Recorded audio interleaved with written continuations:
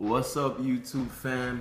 Jermaine Boss here, and um, by the title of this video, you guys already know what it is. It's the review of the Air Jordan 6 Infrared, and um, I basically just got this shoe like two minutes ago, and I already opened it, but I really haven't looked at it. I haven't even tried it on. I said I have to review it. My channel has been slacking, so I have to review this joint. Now, it comes in the classic six box, and this is a 12.5. I'm actually mad about this decision because I heard the sixes fit true to size. I wanted to get a 13, but if you do not know, it was a hassle to get it. Like, first of all, I was not gonna wait online, so I camped online. I mean, I was not gonna wait online, like in a store online. So I camped online, like internet. But yeah, enough about that. But um yeah, I was trying to get it online. I had different tabs open. I had Finish Line, Eastbay, Nike, Champs, Foot Locker. But then again, Eastbay came clutch just like it came clutch from my Bred ones, and I was able to get it. I did get a 12.5, which is half a size down from 13, but hey, it's okay. I can squeeze into it. Now, if you open the box, this is what you see. Comes in a classic six box. And when you open it, it has kind of your, you know, trash bags that most sneakers these days be having. I guess six has always had that. Now, let me bring out the shoe for you. Now, one thing I noticed, one thing I noticed when I opened up the box was was the quality of the red. Now, I don't know if you guys can see it through the camera, but the red looks extra bright. Now I know it's not supposed to be like dark blood red, but this red looks a little bit too, too, too bright.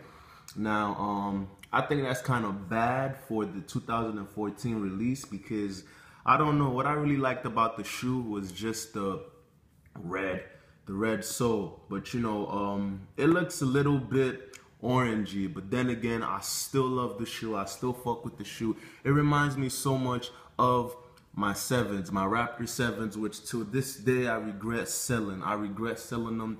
I was I was trying to get another shoe, and I just looked at my uh, Jordan collection and my shoe collection. I was like, what shoe can I flip to get this shoe? So Raptor seven just came up. I flipped the Raptor sevens and got another shoe which I like, but I just wish I never sold the Raptor sevens. Now, now let's get into the shoe. Now, as you can see, this looks a lot like the previous sixes that has been released. And The only main difference that I have to say is just this red on the heel. Like it's it's a lot much more brighter. But I think as it gets older, the red kind of gets dull. Like if you can see the red, if you can see the red on the pull tab, it does not look the same. It does not look the same. Now you guys might not pick up what I'm talking about because you're seeing it through a camera. But if you did pick up the shoe, you can you can be the judge for it yourself. Now, basically, it's like any other sixes. You know, the um, suede slash nubuck body, all black. That's the beautiful thing about the shoe. You have the perforated holes on the top and on the side of the shoe too. Then you know the black laces with the Jumpman on the tongue right here and the pull string right here. And I do fuck with the heel tab too. You know how it says the Air Jordan, the Jordan at the back logo. I fuck with this shoe heavy now. Icy as hell. I know, right?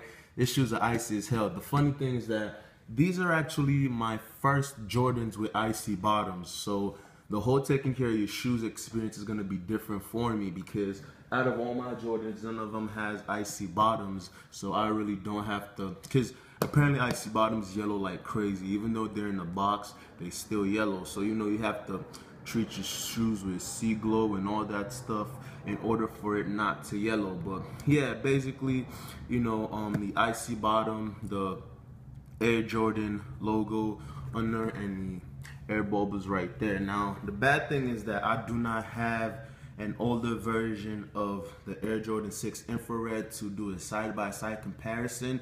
But you know, from what I've been seeing and by looking at people's different shoes, it kind of looks the same. It's basically is the same. And from the other reviews I've seen, you know, it's basically much the same. And on the back, it has the um, it has this tab, this black and red tab. I call this orangey because this looks so orange to me. But you know, maybe after swearing it or aging, you know, it starts to darken, and you know that's why. That's probably why people like the old one. You feel me?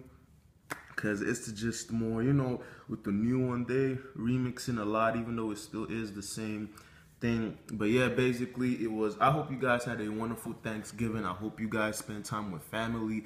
Happy Thanksgiving in not happy Thanksgiving in advance in arrears. But anyway, you guys get what I mean. I hope you guys had a wonderful Thanksgiving. I did have a wonderful Thanksgiving myself. And it was hell to get these shoes, but like my other Jordans, I did cop them. And um, yeah, really much nothing new about the shoe. It's, it's a beautiful shoe. Shit is icy, you know. It's icy shoe. So um, what's poppin'? How you doing? Oh yeah. Oh yeah, I just got my sixes. Oh, you got them too? Oh okay, okay. Oh okay, that's popping. That's popping. now I'm just messing with you guys. Now basically, um, yeah, that's all I have to say. I'm so sorry I've been slacking on my videos, but let me get a thousand views on this. If I get a thousand view on this, I will show you guys my whole collection. Now, I'm not the greatest sneakerhead. I'm not into. I'm not. I don't want to say I'm a sneakerhead or anything, but I do have a collection. I do have a collection that is worth looking a second time. If you see the first time, you will look again and be like, "Oh, okay." And the thing I like about my collection is that it is it is diverse or versatile if I must say. Like I don't just have Jordans, I have Jordans, I have dress shoes, I have running shoes, I have casual shoes, I have Nike, I have Adidas, I have Clarks, I have Converse, I have different type of things.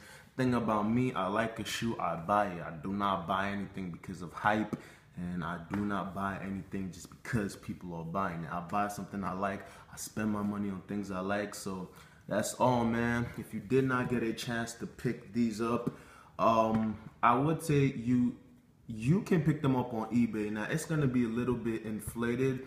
The price is gonna be inflated, but I think it's worth it. Why do I think it's worth it?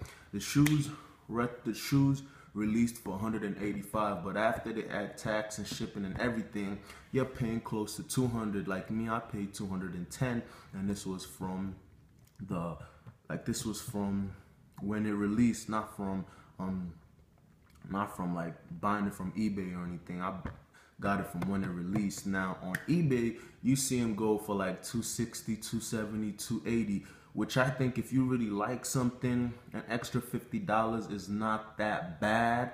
Is not that that bad. The reason why I never copped the shoes because I have always liked them, but for me to pay 400 to $500 for something that is worth 185 was never an option for me. So yes, it was never an option for me. So that's why I never copped them. But immediately I I I made sure I had to get them. It was right the day it was right after Thanksgiving. So you know when you eat so much and all that is on your mind is just to sleep until like 12 the next morning. I set my alarm, set everything cuz I knew I had to get these shoes and I got lucky. So, yeah. Thank you guys so much. You do all that. Hit that red button right there. I did or here. I really do not know. But rate, comment, subscribe, and peace.